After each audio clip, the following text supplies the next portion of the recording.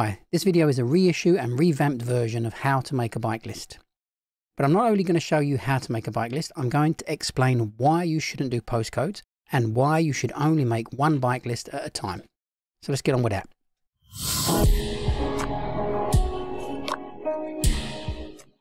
The first thing to note is that you're not able to view bike lists or revise bike lists unless you have first made a bike list. And you'll not be able to make a bike list until you have told the app the points that you don't know. So the very first thing is to revise. By revising, you are marking the points as known, unknown, and sticky. What we're interested in today is the unknown. Every time you mark a point as unknown, it is in your make a bike list window. There is no point making bike lists with known points or sticky points. It's all to do with the unknown, how to get out and see those points and point them and know them. The larger your unknown list, the better the bike lists you can make. So revise until you have around 300 to 600 unknown points. You do this by revising either one week, one month, or three months worth of points from the latest sheets. It's entirely up to you how far back in time you go. Once you have that, then you have the foundation to make a great bike list. As long as you have enough points in your unknown list, you are ready to make a bike list. Don't start making bike lists if you only have 50 to 100 points. You won't be getting the best out of your time. Now select Make Bike List. The bottom half of the screen is your pinning list. Pinning list is basically a list of all your unknown points pinned to the map ready to point. You can switch between list view and map The list is in postcode order to make it easier for those who wish to point by postcodes. And I mentioned at the beginning that you should not point in postcodes and here's why. Pointing in postcodes means you drive to the area, not pointing. You drive away from the area, not pointing. And once you're in the postcode, you still have to organize the points into some pointable fashion so that you don't waste too much mileage. If you point points in postcodes, you are going to see less over a longer amount of hours and learn less points. If you're happy doing less in more hours, then go ahead and do postcodes. But if you want to learn as many points as possible in as little time as possible, then you should do geographical lists, not postcode lists. What's a geographical list?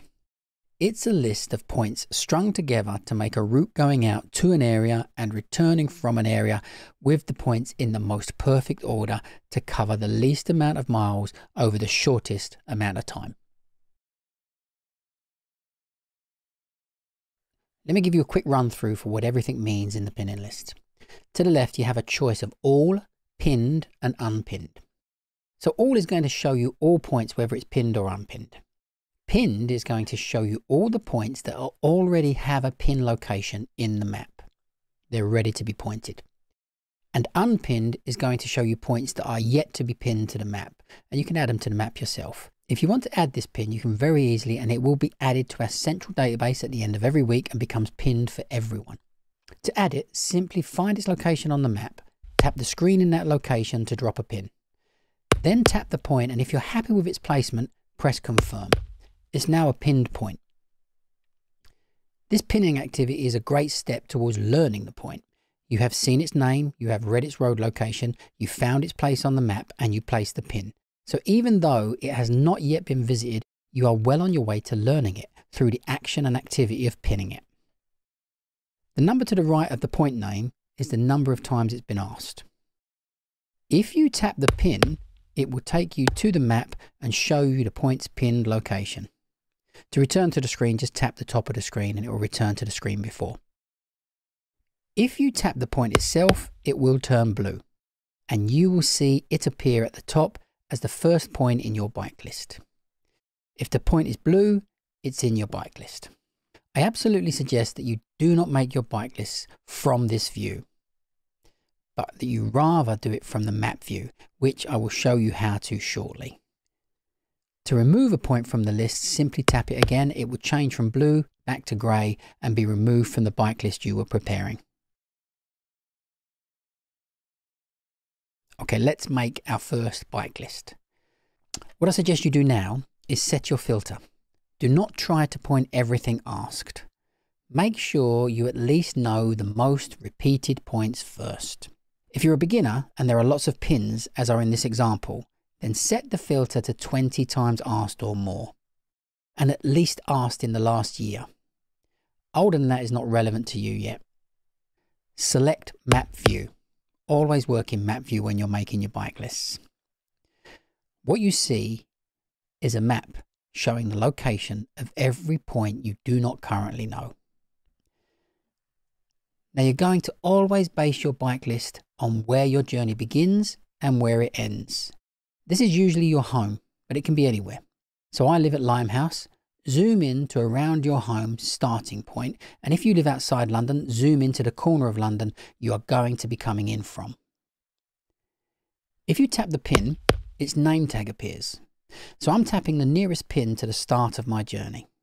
If I'm happy, I will tap the information I and add it to my list as the first point to visit, and it will turn green, which means it's in my bike list.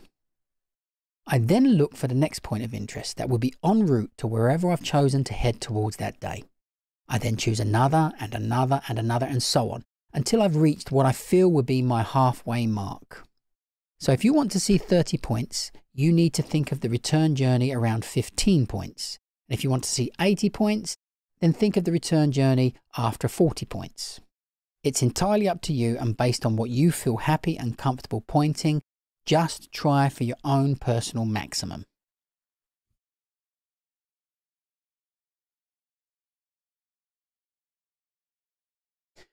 All the green pins you now see are the points for that bike list. If you press new, those green pins will disappear and you are ready to make a new bike list with the remaining red pins.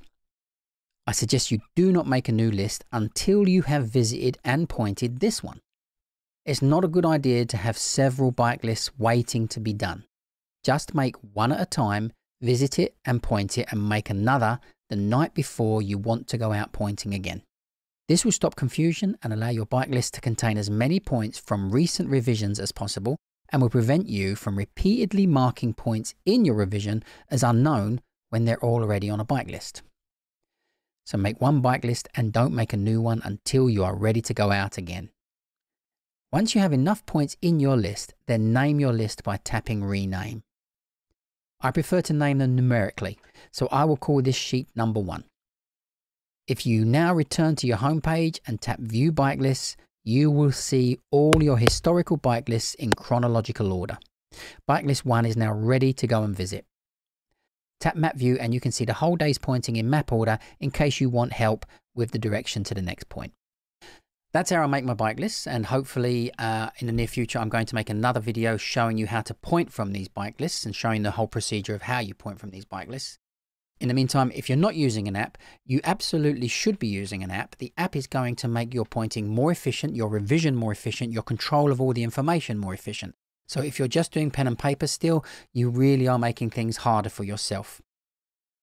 That's it for this video. Uh, please subscribe if you haven't done so already. Please leave any comments you can below. I will answer all of them. And hopefully I'll see you in the near future.